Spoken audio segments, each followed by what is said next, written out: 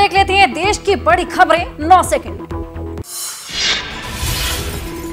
पुणे में भीषण सड़क हादसा यवतमाल से पुणे जा रही बस का एक्सीडेंट हुआ। हादसे में 25 यात्रियों की मौत, पाँच यात्री सुरक्षित। डिवाइडर से टकराने के बाद बस में लगी थी आग।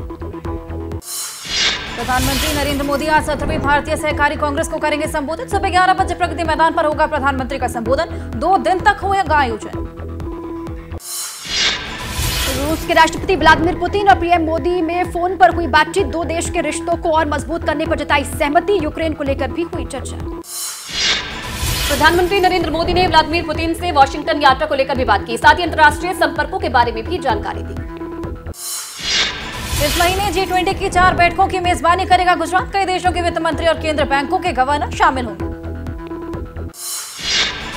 दिल्ली के रावत एवेन्यू कोर्ट में रेसलिंग फेडरेशन के पूर्व अध्यक्ष ब्रजभूषण चरण सिंह के खिलाफ दाखिल चार्जशीट पर कोर्ट ने लिया संज्ञान। आज कोर्ट में होगी सुनवाई।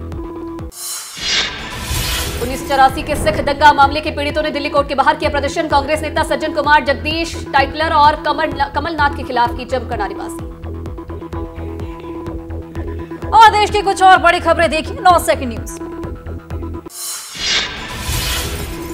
गृह मंत्री अमित शाह ने एसडीआरएफ के तहत छह हज़ार एक सौ चौरानवे करोड़ रुपए जारी करने को दी मंजूरी। 19 राज्यों की सरकारों को मिलेगा लाभ। मानसून सीज़न में राज्यों को नुकसान की भरपाई की मिलेगी मदद।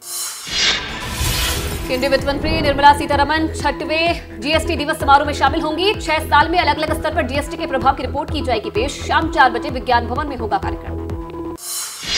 गुजरात यूनिवर्सिटी के लिए दिए जवाब पर अरविंद केजरीवाल ने हलफनामा दाखिल किया। मामले में इक्कीस जुलाई को सुनवाई। प्रधानमंत्री नरेंद्र मोदी को डिग्री से जुड़ा है पूरा मामला। डॉक्टर्स डे पर मोदी सरकार की फिट इंडिया कैंपेन के नौ साल पूरे। दिल्ली में इस खास मौके पर गोवा के सीएम मौजूद रखे रक्षा मंत्री राजनाथ सिंह ने वर्चुअली संबोधित किया। सॉलिसिटर जनरल के पद पर बने रहेंगे तुषार मेहता। केंद्र सरकार ने दिया तीसरा एक्सटेंशन तीन साल तक बढ़ाया गया कार्यकाल श्रीनगर पहुँचा अमरनाथ यात्रियों का पहला जत्था। स्थानीय प्रशासन ने यात्रियों का जोरदार स्वागत किया। तीस जून को अमरनाथ यात्रा पर रवाना हुए थे चार हज़ार लोग। अमरनाथ यात्रा में पंजीकरण के नाम पर लोगों से ठगी का आरोप है। फर्जी रजिस्ट्रेशन यात्रियों को भेजा जा रहा है। दिल्ली और यूपी के लोगों से की जा रही है ठगी। जैसे ही घड़ी का काटा दोपहर ढाई पे आए, बबीता जी का दिल सास बहू साजिश के लिए मचल जाए। और ये है इनकी बहू।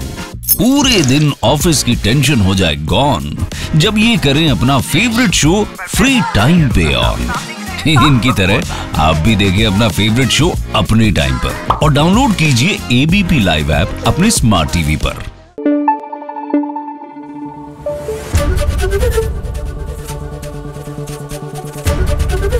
एबीपी न्यूज़ आपको रखे आगे.